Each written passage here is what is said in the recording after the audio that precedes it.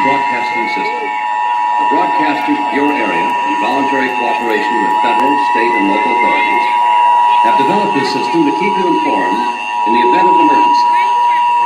If this had been an actual emergency, the attention signal you've just heard would have been followed by official information, news, or instructions. This concludes this test of the emergency broadcast system. This is only a test. This is only test. This is only test. This is only test.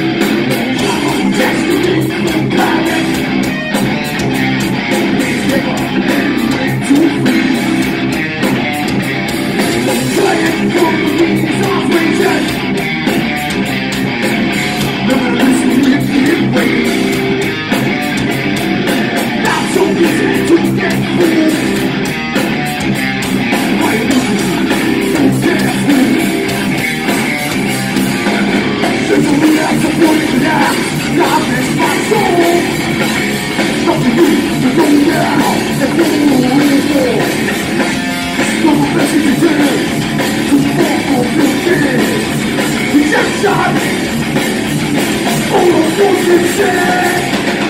is only a test.